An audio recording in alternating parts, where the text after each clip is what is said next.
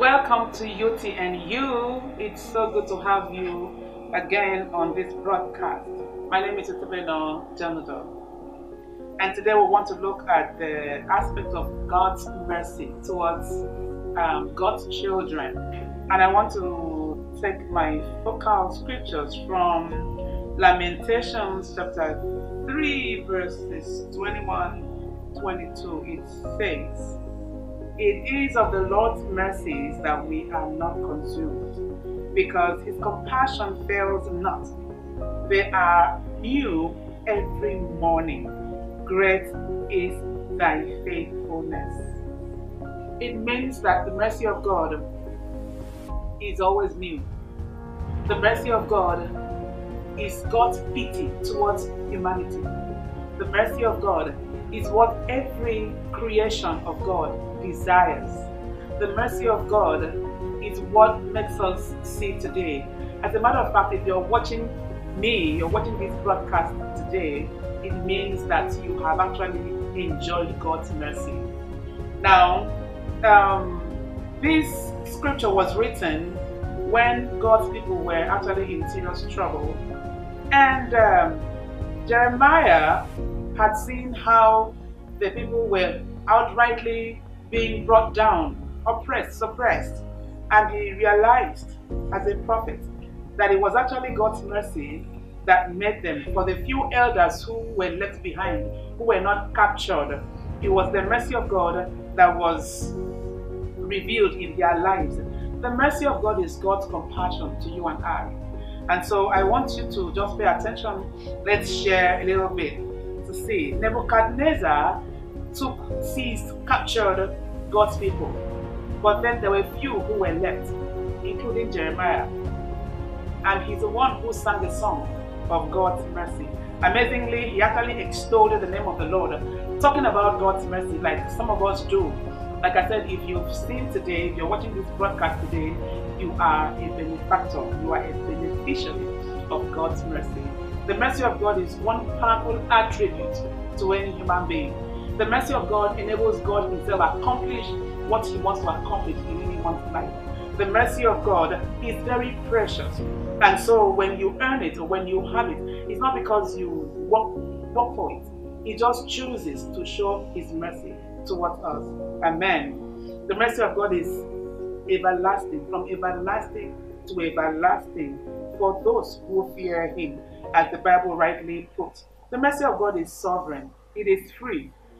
You don't buy it. That's why when God says, Scripture says in Romans chapter 9 and verse, verse 15, He says, I choose to show mercy on anyone I want to show mercy upon. He says that, and he concludes by saying, um, So then it is not of him that willeth, nor of him that runneth, but of God that showeth mercy. It means that you don't work for God's mercy. He chooses to show mercy on you. You don't earn it because you you you have you have uh, deserved or you know you've done something that is making God so happy. So He's mercy. No, the mercy of God is shown to whoever He wants to show. That's why when in Exodus chapter 33 verse 19, God speaking to Moses, He said, "Because I've chosen to show you my mercy, I will cause my compassion, I will cause my goodness to go before you, and I will put my name over you to go before you. Now, if you're watching me today, I want to say that you are a beneficiary of God's mercy. I want to say that you are a candidate of God's mercy. If God did not spare His only Son, but gave Him up for us all, He gave Him for you, if you're a child of God, then you are that candidate of God's mercy because there's no reason He will not give you all other things, including His mercy. Moses enjoyed God's mercy when he said to him, I will cause my goodness to go before you. I don't know how how you are struggling in life. It looks as if your prayers are not answered. But you see, because God has chosen you today as a candidate of His mercy, the goodness of the Lord will locate you. As a matter of fact, it will go before you. Because God is choosing you to put His name in Yahweh before you. So if God's name has been brought before you, it means that you're going to experience security.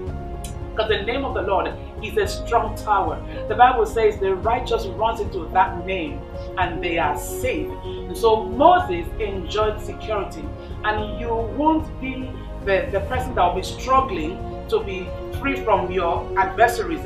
God's name is upon you, and God's name is releasing His safety, His security upon you. Compassion is going to be your portion because God has chosen you to be a candidate of His mercy. When He said in Psalms 102, verse 13, Bible says, And you will arise and have mercy on Jerusalem. God will arise and have mercy on you. You put your name there. God will arise and have mercy on you. And now is that time to pity you. Now is that time to show you pity. So, what are you going through? What are you struggling with? Is it your job? Is it your marriage? Is it your family challenges? Is it your health? Now is that time that God has chosen to pity you by causing His mercy to identify you and his goodness to go before you. And because God has made his name to go before you, God has made his name to be a shield around you. No weapon formed against you shall prosper. The mercy of God exposes you to compassion. The mercy of God exposes you to favor, like it is written in Psalm 102. Now is the time God has promised to favor, to help. And so you are going to enjoy help you will enjoy help by the reason of God's mercy. And if you are not yet born again, you are not yet a child of God, you've not yet had an encounter with Jesus Christ, you are far from what I'm trying to say today.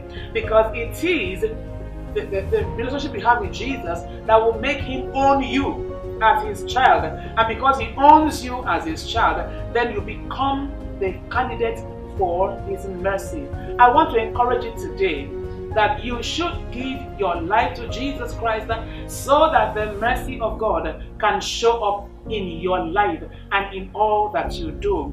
If you are that person and you want to say to Jesus, Here am I, I need you in my life. I want you to be the Lord of my life. I want you to be my Savior. Then you've made the greatest, the most powerful decision ever in your life. And for someone out there who has been a child of God, but you're going through stuff, you're going through struggles, you don't know if God actually hears you. This is the time for your mercy. This is the time for God's mercy to identify you. Therefore, I pray for God's favor upon your life, that help will reach you wherever you are. In the name of Jesus Christ. Is it in your health? The compassion of God reaches you at that very point of your need and releases the healing that your body needs. You will not die in that ailment because God has chosen to show you mercy. You won't be embarrassed you won't see shame because God has chosen to show you mercy. You just have to rely on what He has told you that this is the set time for you to enjoy God's mercy. This is the time for God to show you goodness. God's goodness will go before you, God's goodness will single you out. God's goodness will be your attribute, your characteristics, because the sovereignty of God's mercy will be showcased in your life. I pray for you today in the name of Jesus, whatever you're going through, that the mighty hand of God, the merciful hand of God will reach you right now. In the name of Jesus Christ, whatever had made you lose sleep, I stand in the gap for you and I declare that by the mercies of God, things are changing for your sake. The tide is changing on your behalf in the name of Jesus. It is well with you. Enjoy God's mercy, for this is your set time. This is your time for compassion, of compassion, and enjoying God's mercy. God bless you. God bless you and God bless you again. You need to subscribe to our YouTube channel and like what we do. And you will always be updated with the videos that we